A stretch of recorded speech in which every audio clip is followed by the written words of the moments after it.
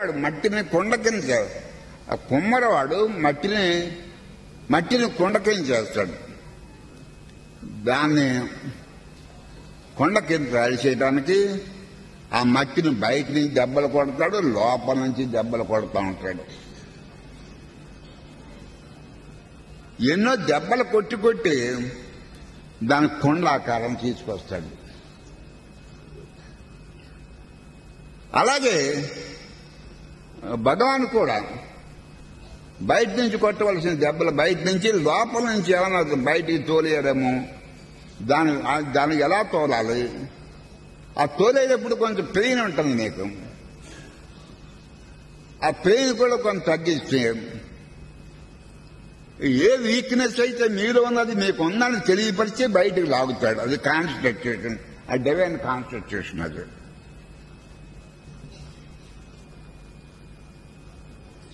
ఆ కుమ్మరివాడు ఆ కొండను తయారు చేయడానికి ఆ మట్టి ఎన్ని దెబ్బలు తింటుందో? అలాగే మీ మిమ్మల్ని ట్రైనింగ్ ఇవ్వటానికి మీకు అంటే ఆ ట్రూత్ రియలైజేషన్ మీద. అంటే గురువు ఏ స్టేట్లో ఉన్నాడో ఆ స్టేట్ని మిమ్మల్ని తీసుకురావటం కోసం.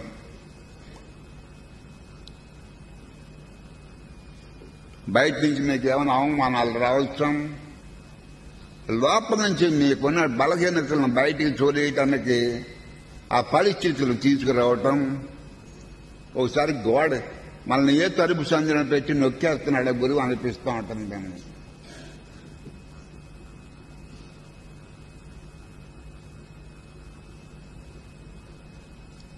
కొన్ని ట్రబుల్స్ డిఫికల్టీస్ అంటే పాయింట్మెంట్స్ మీ చేతిలో. వీడి గురి వినాలి అంటే అని మనం వస్తూ ఉంటుంది. మన గురువు అనుగ్రహం లేదేమో. ఇన్ని కష్టాలు పడుతున్నామని అనిపిస్తుంది అంటే మనకు ఏదైనా మంచి జరిగితే గురువు అనుగ్రహం ఉందని. మంచి జరగకపోతే గురువు అనుగ్రహం లేదనుకుంటే అసలు మన భక్తులనే కాదు.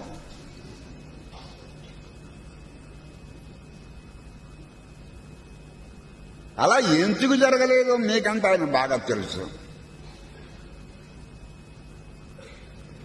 భవిష్యత్తులో మళ్ళీ తెలుస్తుంది మీరు అలా జరగకపోవటం మంచిది ఇచ్చిందని.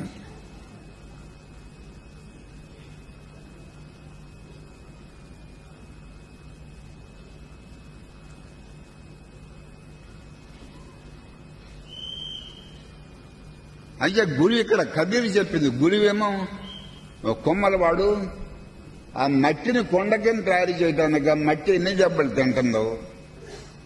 ఈ భక్తుడికి కూడా అంత అంటే అది కొండకేం తయారు చేయడానికి ఎలా కష్టపడతాడో అలా గురువు కూడా మీకు అంతర్యామగా ఉండదు హృదయంలో అంతర్యామం మీ మీకు మీకున్న బలహీనతలు మీకు తెలియదు సహస్రాలను తీసుకొస్తాడు.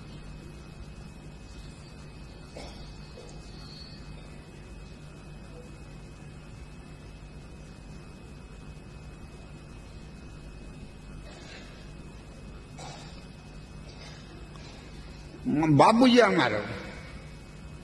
నాకున్న బలహీనతలు ఏం చాలా మటుకు ఇంకా పోలేదు. పోయిన అనుకుంటున్నాను. అది స్వప్నంలో తెలుస్తున్నాను నాకు ఆ- బలహీనతలు ఉన్నాను.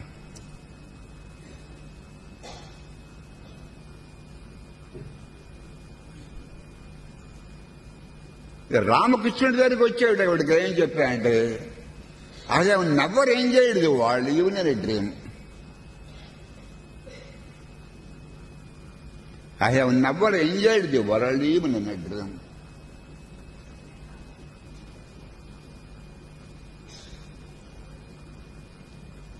ఆ స్థితికి భక్తుని కూడా తీసుకురావటానికి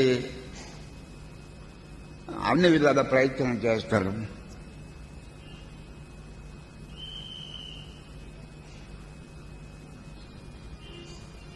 గురువు మీద మీకు ప్రేమ తగ్గిపోయినా గురువు మిమ్మల్ని ప్రేమించడం మానడు. గురువు అంటే అది చైతన్యమే. గురువు అంటే బ్రహ్మమే. మీ శరీరాలు మారిపోయినా మిమ్మల్ని వెంటాడుతూ ఉంటాడు. మిమ్మల్ని వెంటాడుతాను స్వరూపం ఇచ్చే వరకు మిమ్మల్ని వెంటాడుతూ ఉంటాడు. దానికి ఇప్పుడు నేను చెప్పిన మాటనే భగవాన్ మాటలో చెప్పారంటే ఎవరైనా గురువు అనుగ్రహంలో పడ్డ వాడు పులి నోట్లో పడ్డ మాంసం మొక్క పులి నోట్లో పట్ల మాంసం ముఖ్యంగా బయటికి రాదు